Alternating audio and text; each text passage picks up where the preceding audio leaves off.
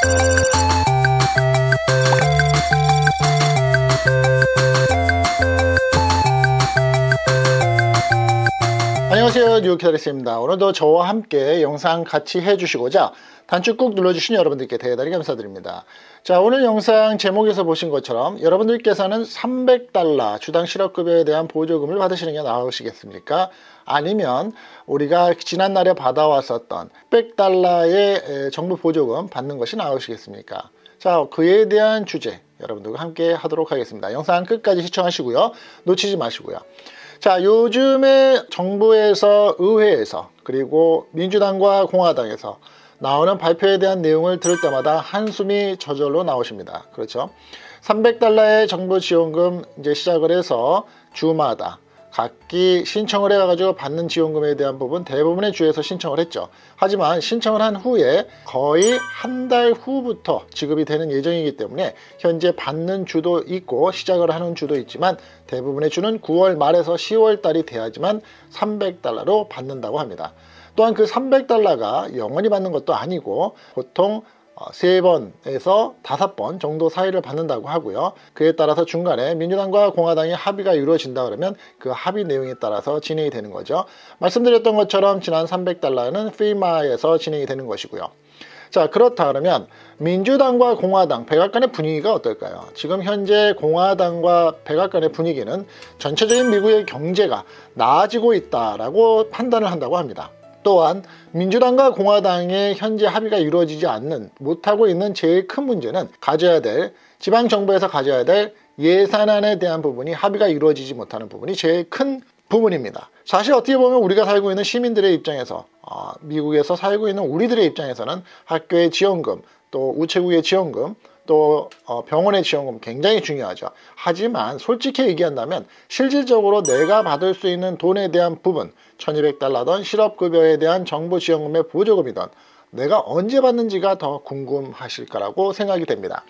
자 그렇다 그러면 트럼프 대통령이 얘기를 했습니다. 만약에 민주당과 공화당에서의 합의가 이루어지지 않는다면 이미 내가 대통령으로서 의회에서 승인을 받은 3천억 달러로 정부 지원금에 대한 3천억 달러로 내가 직접적으로 결정을 내리겠다라는 발표를 했습니다. 그 내용이 뭐냐면 3천억 달러는 코로나 어, 지원 조치에 관한 예산이었었죠. 그런데 고스란히 남아있다고 합니다. 그 3천억 달러로 해서 직접 지원, 직접 지원이라는 명칭은 어떻게 보면 은 1200달러에 각각 가정마다 보내지는 그 돈 플러스 PPP 그리고 여러 종류의 지원금이 있겠죠. 구체적으로 본다 그러면 3천억 달러로 경제안전화 기금이라고 볼 수 있는데 있는데요. 300달러를 트럼프 대통령이 결정을 해서 주자라고 했던 부분을 연말까지 진행을 해서 주자는 부분. PPP론에 대해서 대략 1460억 달러로 지원을 해서 PPP론에 대한 지원금에 책정을 하겠다. 그리고 우정국에 100억 달러를 지원을 하겠다. 그리고 학교에 1050억 달러를 지원을 하겠다. 이러한 내용입니다. 자 여러분들 어떻게 생각하시나요?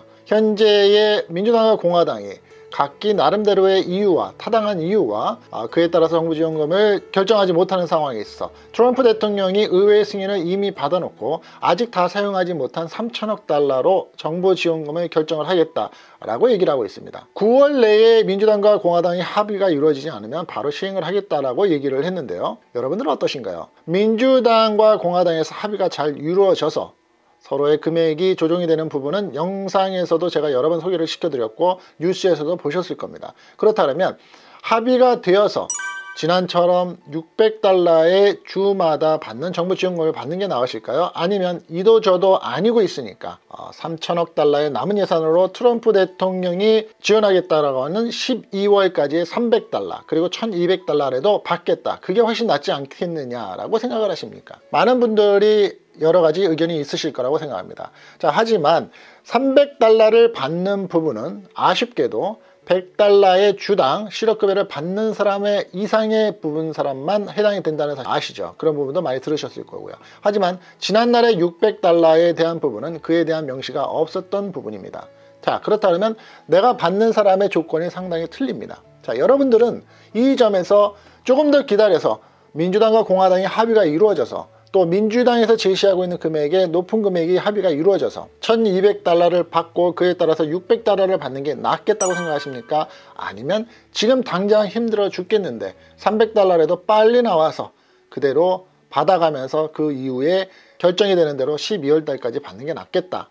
하지만 이 300달러를 못 받는 분들의 입장에서는 어떤 의견이 나올까요? 자, 그에 관해서 하나 연결을 해서 잠깐 얘기를 드리면 지난 1차 지원금 1200달러 가정마다 받는 부분에 대해서 미 국민의 1억 6천만 명이 받았다고 합니다. 1200달러를 말입니다. 하지만 현재 900만 명이 1200달러를 받아가지 않고 못하고 있다고 합니다. 따라서 IRS에서는 그에 대해서 우편으로 못 받은 사람들, 자격이 되면서도 못 받은 사람들한테 메일을 보내서 받아라. 그리고 신청을 하라라고 안내 메일을 보낼 예정이라고 합니다. 세금 보고로 기록이 없고 어떻게 하는지를 몰라서 어떤 내용으로 진행되는지를 몰라서 못 받은 사람이 900만 명이나 된다고 합니다. 노인들이 대부분이겠죠. 의식을 정상적으로 가지지 못한 분들이나 아주 시골에서 사시는 분들 중에서는 소식을 잘 접하지 못하는 분들인 경우에는 그런 경우들이 해당이 되고 있다고 합니다. 이 900만 명 적은 숫자가 아닙니다. IRS에서 받아가야 되는 돈에 대한 부분을 얘기할 때에는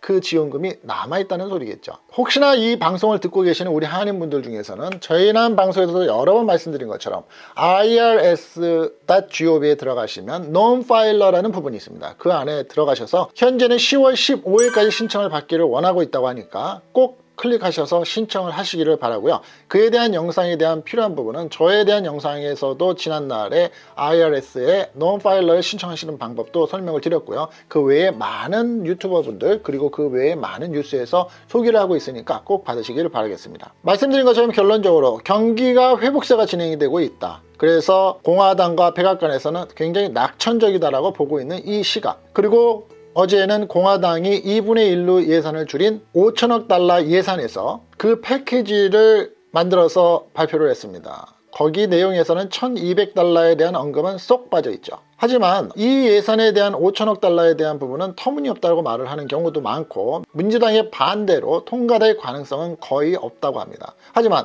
공화당에서는 왜 5천억 달러의 현재로서는 그거라도 빨리 처리를 하자고 해서 1200달러를 받는 부분을 배제를 시키고 패키지를 만들어 냈는지 그리고 벌써 한 달이 넘어가서 한 달 보름이 되고 있는 정부 지원금에 대한 얘기는 언제나 마무리가 질런지 그리고 현재 받지도 못하고 있고 300달러는 나올 것이라고 얘기하는 300달러와 600달러 중에서 어떤 게 나올 것인지 많은 생각을 하게 만듭니다. 그렇죠? 최대한 빠르게 이번 주 안에 벌써 주말이 다 돼가고 있습니다. 하지만 좋은 소식 안 나오고 있죠. 좋은 결과가 나오기를 우리 모두 여러분들 다들 힘드신 거 공통된 마음으로 깊이 우리가 간절히 바라는 마음으로 기다려봅니다.